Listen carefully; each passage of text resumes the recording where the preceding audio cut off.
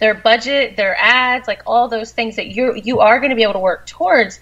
But you you really want to be confident in who you are right now, and I think that's one of the like that's what breaks my heart is I see people like, oh, I'm never going to get to where I want to be because they're comparing themselves to someone who's been doing something for 10, 15, 20 years versus like starting where you're at and being confident in yourself and growing your business from that space and letting yes. that perfect, right?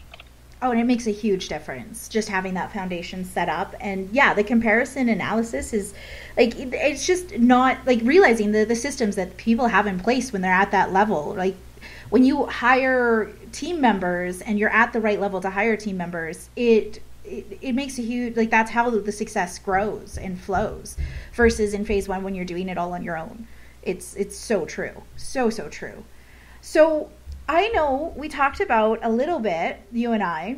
Uh, you have had some really crazy things happen in your life. Amen. really, really good stories. And I would love if you could share one of them with us because I think it's so important to know that, you know, where you are today, you know, sometimes you need, like, these stories is what makes us grow into who we become tomorrow. And I think knowing that, you know, these stories and hearing other stories is just so powerful. So I, I know we talked a little bit in um, in it on some near death experiences you've had and how that transformed uh, mm. how you run your business and what you do today. And so share with us a little bit about that. Yeah. So, you know, I, I don't know what your what do you feel like your audience's number one challenges out there? Do you know what their number one hang up is? Uh, well, if mm-hmm. I were to, let's say, let's go with some of my class uh, students, sure. I would have to say their number one challenge is just knowing that what they're like being, con- and it's the confidence thing again, right? Being confident okay. in what they what they offer to the world through their events and their retreats, uh, in in expressing themselves, like allowing their like allowing their creativity to flow and not copying somebody who's done it before right? So just right. expression. Yes. Mm-hmm. yeah. Okay. Yeah. So that just gives me a good you know I can talk about stories like you said i've had a colorful life so like all day so like okay what is the most important message we can give everyone um, in your audience today? So you know yeah i had a near death experience and this was in 2011 and you know what i'll share with you about it the message i really want you to receive is to cure your own doubt, right? And mm-hmm. you do mm-hmm. that through the process of denying distractions. And I'll share with you my own journey through that just to give you a little bit of inspiration to fill your well, um, to believe in yourself. And, and before I even start this story, I, I will say this. You know, I am a master channel and Oracle for Ascended Masters and Angels, God Source. And I cannot, there are no words to express how deeply loved, honored, and honored and supported you are. And the angels and masters, they gather every day and hold space for you to be confident, to believe in yourself, and to let go of any doubts in the way because you chose this life to come here and help the world heal in your own way. Mm-hmm. However, you're doing that's perfect for you. I believe that everyone embodies this healer archetype, right? It's like, what is that passion in your heart that you really want to help people. Everybody I meet, they're like, I want to help people. I'm like, mm-hmm. awesome. How? You know? And so you, you have that ability. You have no idea how powerful you are. And I want to remind you of that. Like, please just start to open your heart to that. Or maybe you know how powerful you are and just allow it to, uh, you know, really assimilate into every cell in the body. So for me, you know, I had a really hard life. I went through a lot and um, you know I'd been through tons of trauma, abuse, a ten-year life-threatening illness with Lyme's disease, um, you know, a really bad relationship, and the company I ran, the medical gas company, I worked eighty-hour weeks for like seven years, and I was treated horribly um, as well in, in in the business and. You know, so long story short, through all of that, uh, then my best friend died, mm-hmm. and I I just couldn't do it anymore. I quit life and I planned my suicide. And I have a failed suicide attempt, which turned into through the process of a near death experience. And so I was already like on this spiritual journey And I would say I was awakened a little bit, but I was not in any form living on purpose. You know, I was doubting myself and I was selling my soul to everyone else around me and everything. And I was so unhappy and I was so miserable. And then when I, I found out uh, my best friend was gone, I just felt like I had no reason to be here. And I feel like, you know, now I speak publicly about this suicide attempt. And, um, you know, so many people come to me now and they're like, wow, thank you so much because I've either felt that way or I also have a failed suicide attempt. I think a lot of people out there, either you, you just, you, you have those moments in life where things just get really hard, right? Mm-hmm. And so many people can struggle with feeling, you know, that lack of confidence and, wherever that gauge is for you. But mine was like, you know, through the roof. And I was um, just devastated. And so in that experience, I traveled to Source and I saw my best friend that crossed and I met with this council of ascended masters and angels. It was like this beautiful ceremony that they had for me. And they all came forward and they were blessing me. They were like kissing me on my forehead and, and, and my chakras in different places, and they were placing their hands on me and healing me and blessing me. And they asked me to come back and share their prophecies and their healing energies with the world to show people to awaken to their own power right? So here I'm telling you at the beginning of the story, like, believe in yourself. And I had this crazy experience. I mean, it still blows my mind even mm-hmm. telling the story. I'm like, what? You know, because I'm actually very logical and Taurus. So, like, th- these things really happened to me. And, um, so I came back and, you know, people asked, like, oh, what was that experience like when you woke up? I said it took me about two months for everything to like settle in. Um, and so it was about two months later, I went to see a medium to talk to my best friend because when I was found the next day, I was unconscious on my garage floor. When I was found, um, I was picked up um, and brought inside. And when I woke up, I was shocked that I was here. Do you know what mm, I mean? Yeah. And so this, I was still in deep grief. You have to remember, like I was deeply grieving and um, it was almost like my body was shut down from the grief, you know? Mm-hmm. And so it took me some time to really allow what happened to come through me. And so when I went to see this medium to talk to my friend Mikey, it was like God turned on a light switch, and then all of a sudden I was seeing like the sacred geometric patterns and how everything's connected in the sky and through everyone, and here are all the masters and angels speaking to me here on earth. And I'm like, whoa, Okay, so I had to spend a year and a half in deep spiritual immersion and study embodying my gifts because I had a, and I mean, I went, you know, you have to understand it was a really big transformation. Like, you know, you tell people that, uh, you know, everyone that knew me thought I was crazy pretty much. And then I had to, you know, own that. And I quit my job as the VP of that company and then started my business to help people do mm-hmm. what I'm doing now.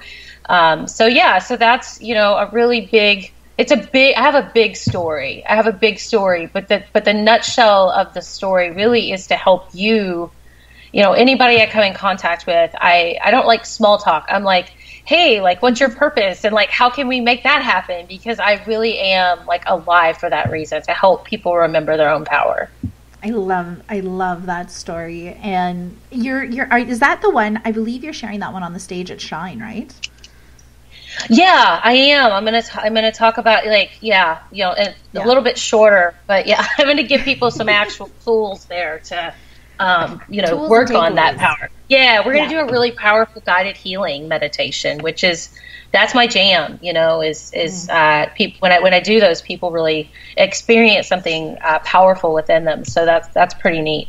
Yeah, Oh yeah, and you're you're talking live on stage for uh, Shine Live uh, in Kelowna, British Columbia. This uh, actually in, in about a month from now. so it's crazy! It's already here. so yes. so people can come in and find you there too, uh, and talk to yes. you more, which will be absolutely fantastic. That's what I love about live events is you can just get to know people at a deeper level and understand their stories even deeper so what you shared here at like this that story and that experience that you went to is just so powerful. And not everybody gets to experience things at that deep of a level. And i think it's absolutely transformational and uh, amazing. It's something from a dark story into a light ending i would say. Uh, to, yeah to go to transformation to the, the level that you've brought it to and, and done the stuff in your world that that needed to happen to help build the transformation around your why and help others see that I think it's so so powerful. And yeah. And so if you're if you are at Shine you know you can always go and talk with Jessica and, and get get to know her deeper because I know a lot of Shine Shine goers are going to be listening to this this audio mm. here. So, yay! yeah, it's going to be amazing. I can't wait to. I mean, I love speaking. You know, I'm all like, give me the microphone. Really, just because I want to love you. I just want to love you. I'm so like, let's. I'm gonna talk to you and hold the space. I love you. So I love to. I love to get up there and share, but um, I'm really excited to be a guest. You know, Chantel mm-hmm. is my speech stylist and, and speaking mentor, and so and and Natasha's there. So I mean, there, there's so many amazing humans in that room. I'm excited um, just to hang out with all of all of the beautiful people there. so uh, she creates a really neat space, and you help you you support that. You create that space with her, and so I'm very appreciative to both of you for creating such a phenomenal experience. I mean, it's beyond an event. It's really a beautiful experience. Oh, thanks. Yeah, it, it, will be amazing. And this year, it's it's something completely out of this world for what's happening over these three days. So yeah, yeah, it'll be. We have a gala, and oh my goodness, I know, and a flash uh, mob. We're doing a flash mob. How I fun know. is that? Yeah. I love them. mm. uh, so when when we chatted, we talked about you know discovering what is blocking your energy and holding you you back from creating what you want in the world. Uh, and and is there like some tips that you would suggest for somebody new to the whole idea of figuring that stuff out for themselves? Like how would they know what's blocking them or holding them back and and and creating that thing they want in the world? Uh, I would say specifically around events, but it could be anything really. yeah, yeah. Well, if it there's the thing, if you're an entrepreneur, you're probably going to have an event, some kind mm-hmm. of event, you know. And you have to remember, like, even if you're having a, uh, you know, you need to be educated in events because you, you, I do things online all the time. That's still an event. Do you know what I mean? And I do things in person here in Atlanta, Georgia. You know, events. I speak at other people's events. So I mean, there's all. It's an aspect of your business. So you, you know, what, and it's how you're really deeply connecting with people intimately um, and so it's really important um, piece of your business, you know. Um, so yeah, I think I gave you something to give everyone, uh, and I would say the best place to start is you really need to understand what you're committed to. And this helps you. So I'm. I'll also say this to you guys. Like I'm 50% soul. I'm super woo woo. I talk to the masters and angels. I channel all day and I'm 50% super strategic. So you can't have one without the other. So what I would apply strategically in business, I apply into your spiritual evolution and energy healing and vice versa.